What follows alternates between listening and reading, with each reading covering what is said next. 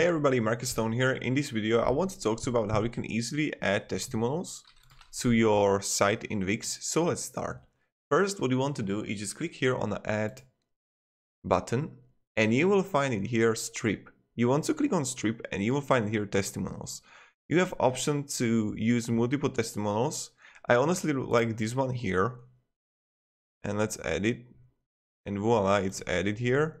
Delete this one here and so what I really like, let's just manage it.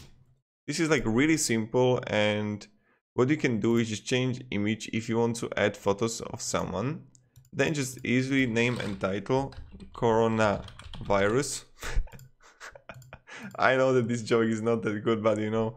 So yeah, and then you can also change column background and go with like whatever you want. You can go also with the color and or like I don't know. It's really up to you what you do and what you what color you want to change. What I recommend also is to add add text go with the titles like here and go with like testimonials if you want add the text go with a to middle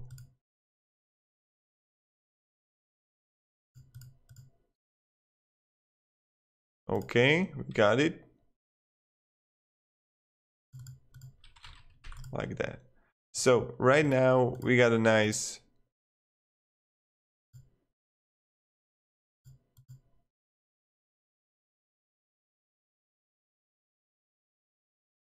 Okay, you can stretch it, change the background.